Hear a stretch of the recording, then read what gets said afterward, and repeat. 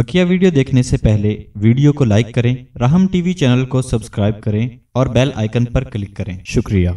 आज हम गुफ्तु करेंगे सूरत बनी इसराइल जो सत्रहवीं सत्रहवीं सूरत है। जी। ये तदवीन एतबार से सत्रह नंबर पे आती है। जी जी। और जैसे कि तरतीब से मैं बताता चला आ रहा हूँ कि जो मजामी कुरान करीम के हैं सब एक दूसरे के साथ मरबूत हैं। जी। एक दूसरे के साथ जुड़े हुए हैं। जी। इससे पहले जो है वो सूरत इब्राहिम में मवाद आज़म हज़रत इब्राहिम सलाम का ज़िक्र था जो पैगाम तोहीद लेकर आए थे। और तोहीद की जो वो शान में जब डूबे हैं तो अल्लाह ने उनको अपना खलील बना लिया था। फिर ये उसके बाद सूर्य हिजर का ज़िक्र था जब उन्होंने अपना पैगाम तोहीद दिया नज़रियात पेश किए तो नाफरमानों ने इतराज़ात किए। तो फिर सूर्य हिजर के अंदर उन शुबात का इजाला किया गया दूर किए गए शुबात। सादमंदों ने पैगाम को मान लिया और जो बदबखत थे उन्होंने फिर इनकार किया जिसके नतीजे में अल्लाह तबारक वाली उन्होंने उनको तबाह बर्बाद कर दिया उन पर अजाब नाजिल कर दिया।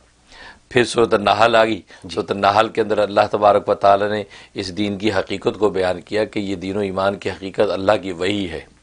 अल्लाह के वही के पैगाम से पैगंबर आगे आपको जो है पैगाम तोहद देता है। ये कोई खुद साख्ता बात नहीं है। जी। लिहाजा वही की हकीकत को वाजे किया।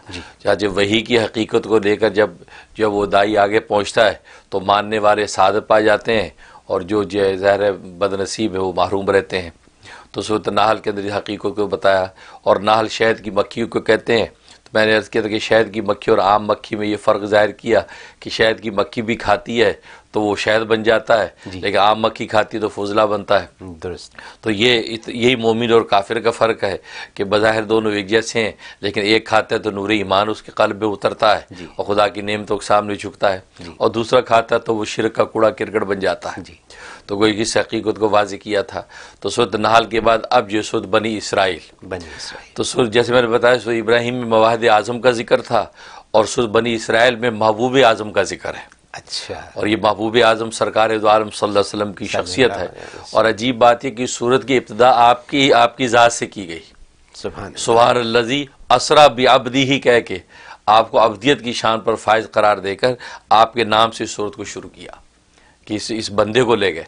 और इसका नाम इसरा भी है। इसरा इसलिए कि इसमें वाक़ इसरा है।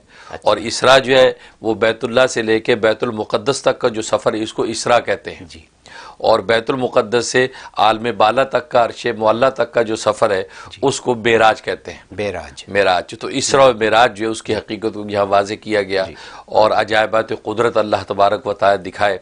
क्योंकि आबद कह के ये बता दिया कि जो पैगाम तोहहीद इब्राहिम लाए थे उस पैगाम तोहहीद की हकीकत को ये मोहम्मद पहुँच गए हैं और उसकी हकीकत अबदियत थी। कि ऐसे झुके और अबदियत के समंदर में ऐसा गोता लगाया कि अल्लाह तबारक व ताला ने उनको अपना महबूब बना लिया।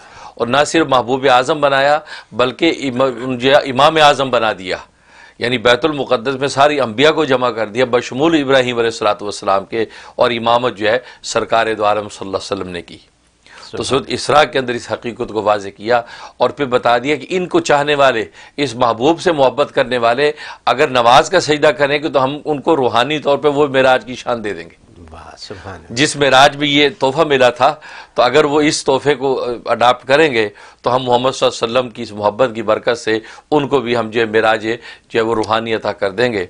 इसलिए हदीस में आता है कि असरात मेराजुल मोमिन के नमाज़ मोमिन की मेराज है। जी। अगर वो चाहता है कि मैं रूहानी और मानवी तौर पर इस मेराज को हासिल करूँ तो नमाज़ के सईदे में गिर जाए। तो हदीस फरमाया कि सजदे में इतना करीब हो जाता है बंदा अल्लाह के कि उसका सर अल्लाह के कदमों में होता है। तो ये हकीकत नमाज़ की उस पर वाज कर दी।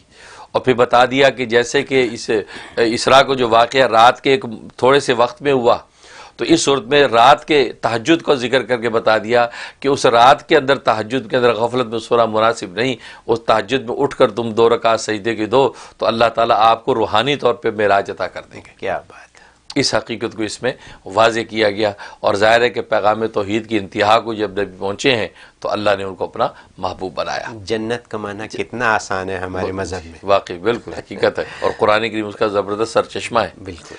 तो जहाँ तक इसके ये इसी के अंदर 111 सूरतें हैं। एक सौ ग्यारह आयतें हैं। 111 और ये मक्की सूरत है हिजरत मदीना से जो वो पहले नाजिल हुई है। और इसका एक नाम सूरत इसरा भी है।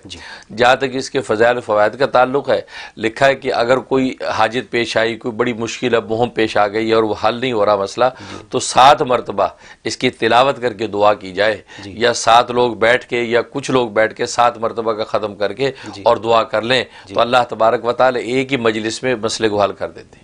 वाह वाह। ये इतना मुजरब इसका। यानी ये जितने हमारे पास सवाल आते हैं जी, जी। अगर फ़ोन कॉल्स आती हैं अगर वो इसको अपना लें तो बिल्कुल घर के अफराद बैठ जाएँ सात मरतबा ख़त्म करके दुआ कर लें तो अल्लाह तबारक बता उस मसले को हल कर देंगे।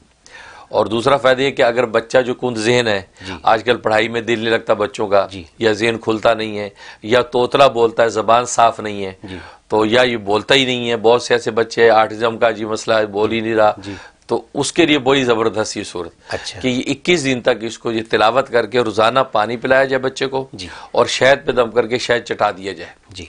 तो 21 दिन के अंदर वो बच्चा बोलने लगता है। जी। अल्हम्दुलिल्लाह कितने लोगों को मैंने ये जब बताया तो लोगों ने इस पर जब अमल किया तो उनके बच्चा वाकई बोलने लगा। जी, जी। और ज़रा और ज़्यादा दिन बढ़ा लिए तो बच्चा बिल्कुल साफ़ बोलने लगा उनका तोतलापन बच्चे का ख़त्म हो गया। ये इसमें बड़ा एक नफ़ा है। जी।